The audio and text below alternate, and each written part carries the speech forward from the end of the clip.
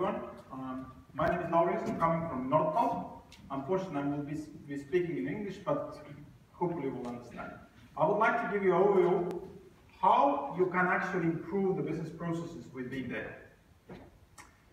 I think that every one of you are on daily basis looking for a next 10% of efficiency gain. Where can you find a way to cut more costs or make the processes more uh, smoother?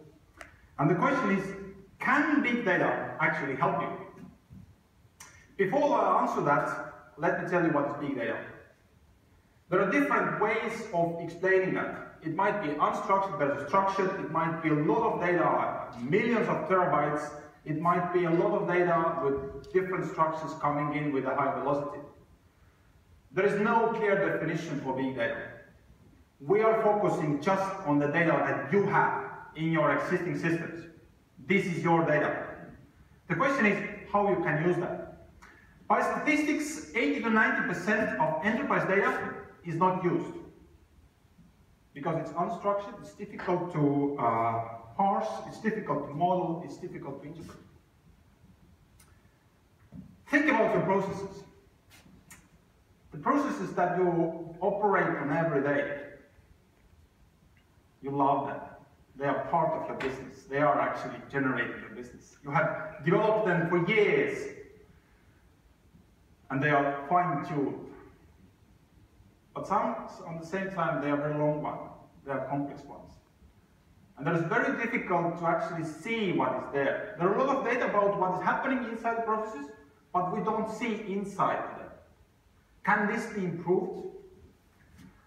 So what we do normally, we're drafting a manual on business processes, swim lines. This is our view how we see the process. But also we have a process log steps. We know exactly how our processes are operating day on today on, day, on, on daily basis, and in each step there is a log which you could use. And this is the information that how exactly your processes are operating. And the question is, can you use this information, even it's unstructured? This is the re-engineered business process sample from the logs, developed based on the logs. So our approach is to take the logs and re-engineer the business process to actually show you how it looks. You can run such a way, re-engineer all your processes, what you have, and even you can play with them. It's actually a, a simple one. So the yellow bubbles start to emerge.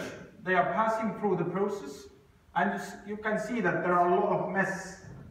This is a sample of one help desk system uh, re-engineered business process, where the customer was saying, after we show the visualization, this is not our process.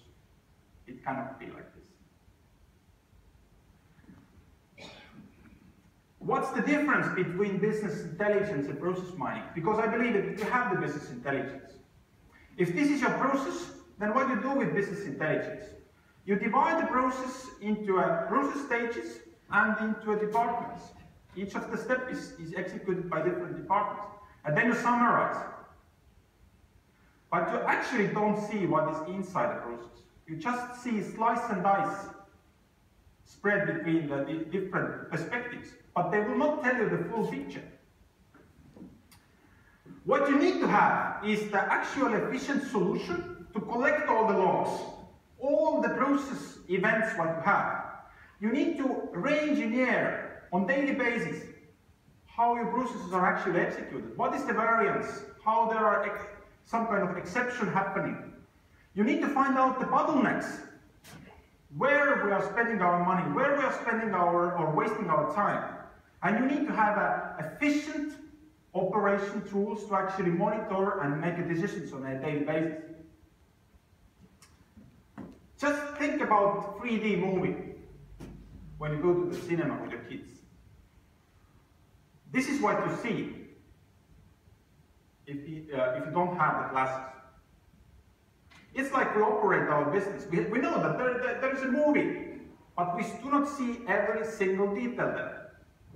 And process mining will give you the glasses to actually see what is happening inside. You need to have it in order to find the next minus 10, 15% of efficiency. So we have experiment, experienced this, and we have shown that actually it works. That's the next source for you to find the additional efficiency check. If you're interested on that, just let us know. We're really uh, happy to give you the, the, the, uh, the, understanding. And we believe that this is the next thing where you, how you can actually improve your business results. Thank you.